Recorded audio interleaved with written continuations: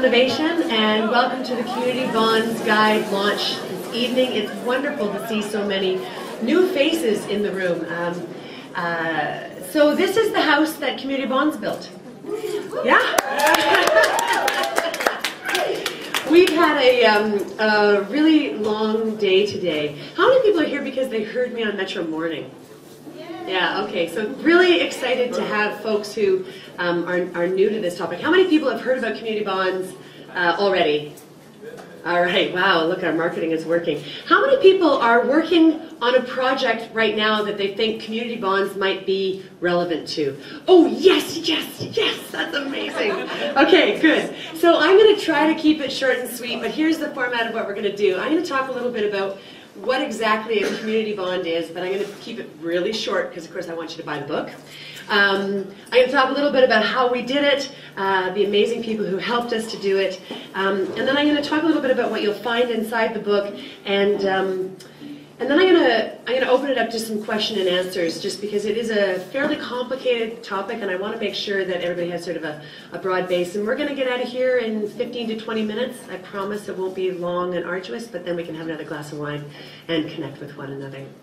Um, it really is good to see so many fresh faces. Uh, today we had uh, the Center for Social Innovations uh, Summit where we convened about 140 of our members today uh, to look at how we can co-create uh, and accelerate member benefit by working together. Um, you'll see some of the outputs along the door. Um, the work that the Center for Social Innovation does, we're a not-for-profit social enterprise that provides shared space and services to 350 organizations that are working to change the world. The reason I mention the summit is because it's the kind of thing that we do at CSI, the kind of uh, leveraging the power of incredible entrepreneurs and people who are trying to change the world, finding ways to help uh, them to become more collaborative, more creative, more innovative in the work that they do, and that we are all sharing in this value of really bringing our talents, our skills, our competencies to making the world a better place. And I know that you share that value too, or you would not be here tonight. It's that drive, it's that mission, which is the foundation on which the concept of community bonds has been built. It's our deep fundamental belief that it's what we do in, in our spaces that really is where social change happens. And so the drive to create the community bonds really came out of the drive to fulfill our mission, which was to catalyze social innovation in Toronto and around the world.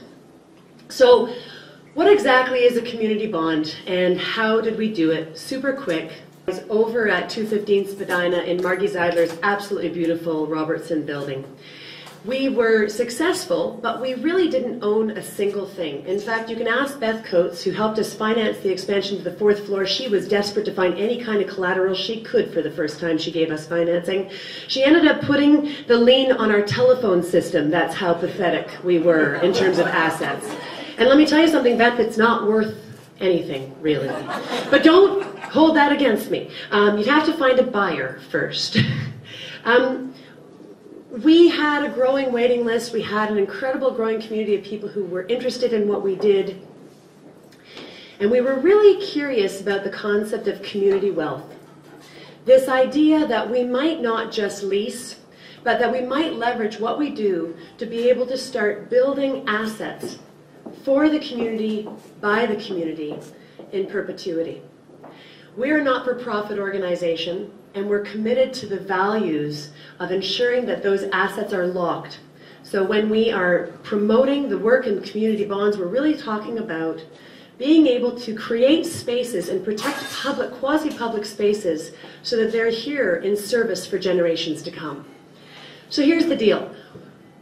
We've been looking for real estate, a little bit here, a little bit there, nothing really looked good. And then what happened is on December 13th, 2009, uh, Alex Spiegel and Dean Goodman introduced me and brought me into this building. And just sort of like the house that I bought, I kind of fell madly in love and I said, this will be mine. Uh, and of course, um, it was ridiculous. Uh, this was a building that was four and a half million dollars and needed well over two million dollars of upgrades to get the space up and running. And the seller wanted to move quickly. She wanted to uh, move very, very quickly.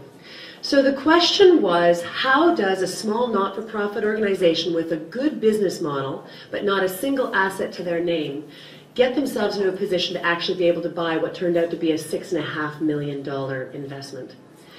So we made and leveraged every single connection that we could possibly find. The first person I called, again, was Beth Coates uh, with the Canadian Alternative Investment Cooperative because I knew that Beth would give me the really, really hard news and let me know if it was impossible, she would tell me quickly.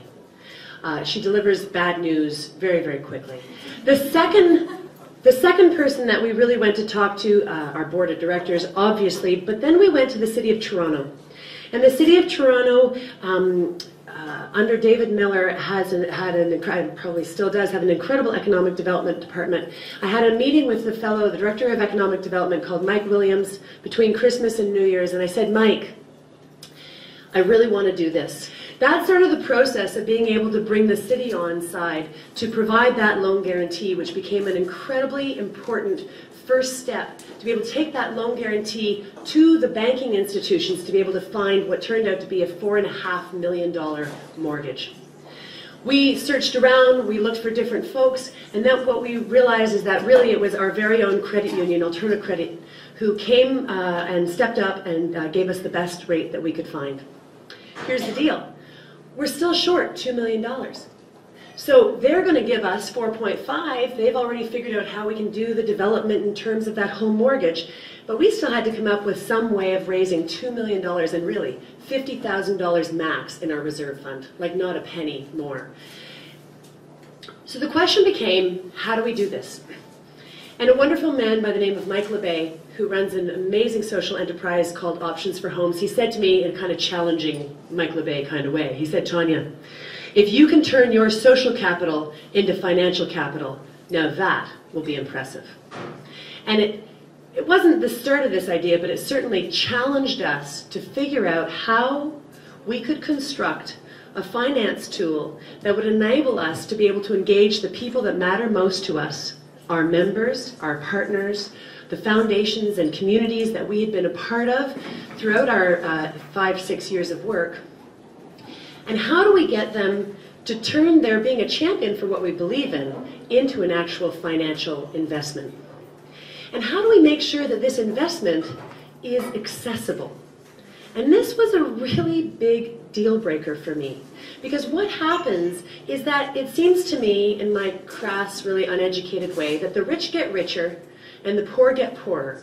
And all of these financial tools are really designed to facilitate rich people getting richer and being able to invest in 12 and 15% returns.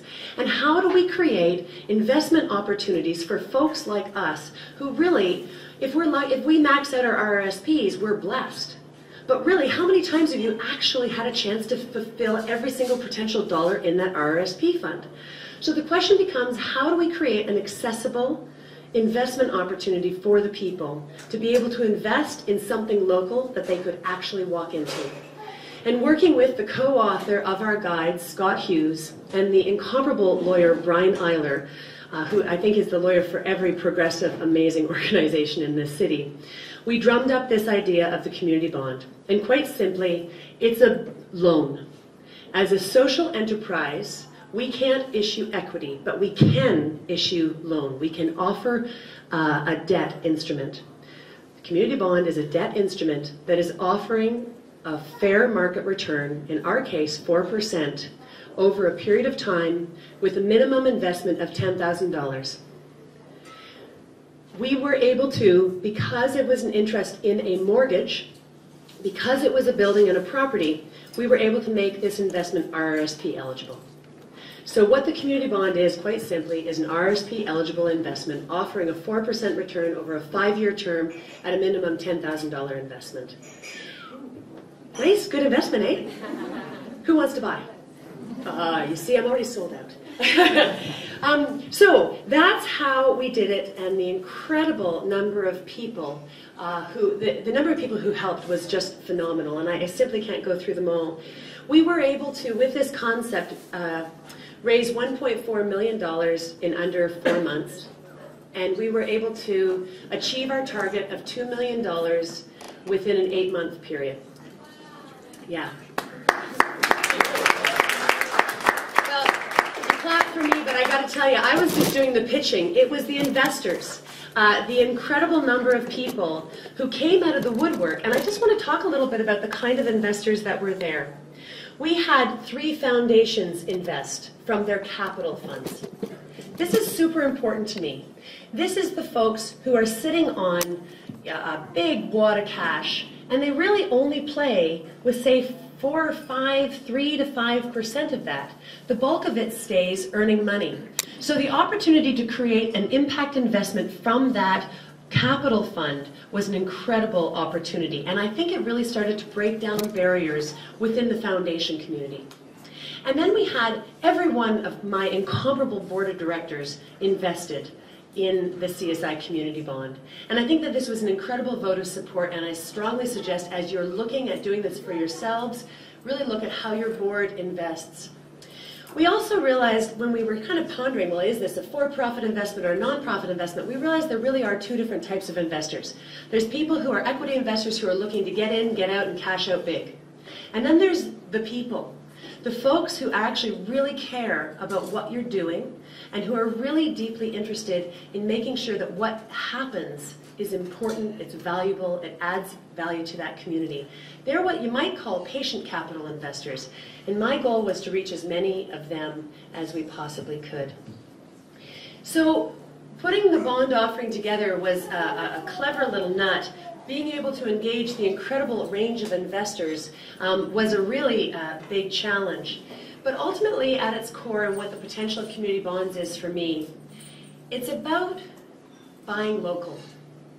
It's about slow money. It's about citizens reclaiming our public spaces. It's about us being and finding strategies to build community wealth. The bond concept is about communities re-engaging in the things that matter, and then utilizing the assets that they have to be able to turn their visions into reality. It's about the ultimate citizen engagement, and it's really about the ultimate democratization of our society.